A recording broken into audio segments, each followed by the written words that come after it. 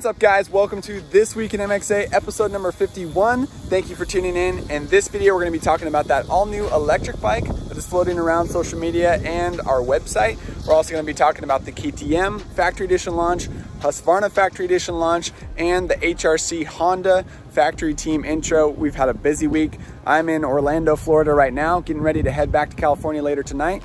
Let's get into the video. All right guys, we gotta start this thing off with the most dramatic and just kind of wild off the wall topic, the Stark Future Varg motorcycle, and it's an electric dirt bike that claims to have over 80 horsepower. That's insane for a motorcycle. 30% uh, stronger than the fastest 450s right now on the market.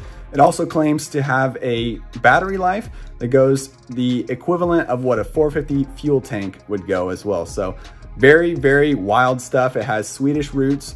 Um, the CEO is Swedish. The word Varg comes from uh, the Swedish term for wolves. And uh, Matt Rebeaud, Sebastian Tortelli, Josh Hill have been riding and helping the team develop this motorcycle. And uh, they showed some pretty cool videos and pretty cool photos of the new bike. Even had Josh Hill talking a little bit on the video. You'll have to check out our website, motocrossactionmag.com, where we have the full press release, some cool photos of the bike, plus a very detailed video about the motorcycle coming from uh, Stark Future. It's pretty interesting, and they did a great job of explaining their goals behind the project and what the motorcycle is all about. I can't wait to get my hands on one. Hopefully, uh, we'll be able to test one in the near future, hopefully sometime in 2022. Retail price, $13,500. It's gonna be very interesting to see what it looks like and what it runs like on the track.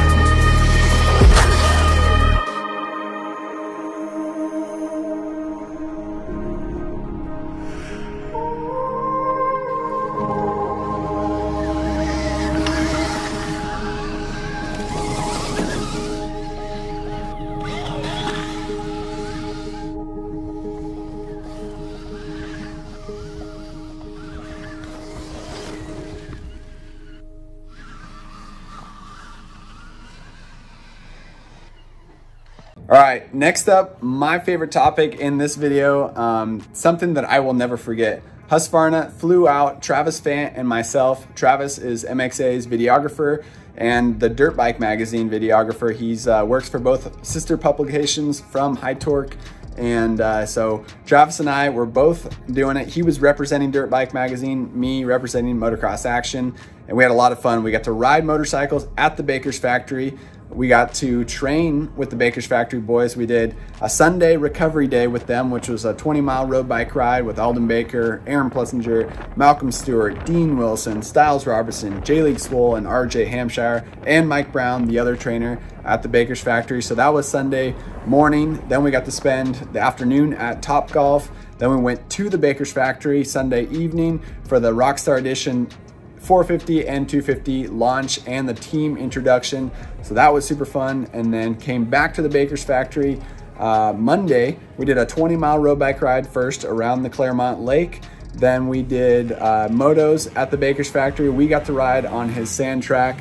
On I got to ride a 2022 FC 350 Husky. So it's not the all new model. It was kind of a bummer we didn't get to ride the new Rockstar editions, but we will be able to ride those in January and we'll have uh, articles and videos coming out all about those bikes and then and how they work on the track. But we rode a stock Husky 350 um, and then afterwards we got to watch uh, the factory guys doing some training laps on the Supercross track. That was super cool. Then we got to spend maybe like two hours, an hour and a half at least in the gym with them, working out, and uh, we got we got our butts kicked. But it was a lot of fun. We got a lot more content coming from the Baker's Factory soon, so stay tuned to motocrossactionmag.com and our YouTube channel for more coming from this trip. If you want to learn more about the Rockstar Edition models, you can read all about them on our website.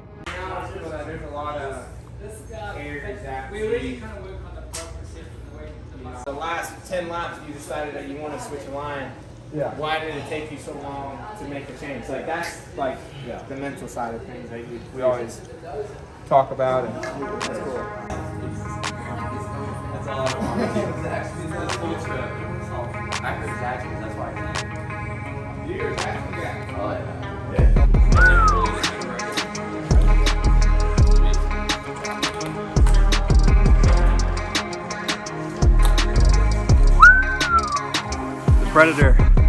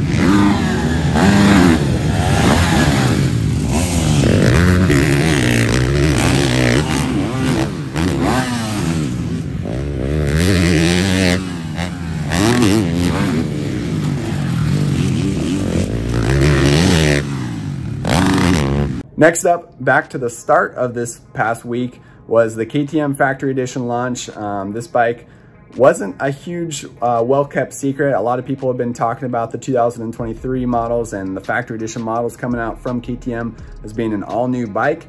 It's true, all new engines for the 250s and 450s, all new frames, for both models and uh, it's a lot, a lot of updates. We had a good time at KTM headquarters last Wednesday, learning all about the bikes and also getting to interview Cooper Webb, Max Vohland, Marvin Musquin, and Aaron Plessinger. So it's a good time over there. The new bike is pretty wild. If you haven't learned about the new bike and haven't seen our video, you can check it out, motocrossactionmag.com or our YouTube channel where I get to interview the North American CEO for KTM uh, Race Ready Brands is John Hinz. Got to talk to him, and it's pretty cool to see that the CEO of the company for North America was actually riding and testing the bike before it came into production. So that's pretty cool. Also got to talk to Roger DeCoster about the new motorcycle, what he's excited about for it, and my friend Ryan Sarancha, who's the product manager. He knows all the details about the new bikes and about really everything KTM, Husky, and Gas Gas. So if you haven't seen that video, check it out on our website. We go into all the details about that new KTM.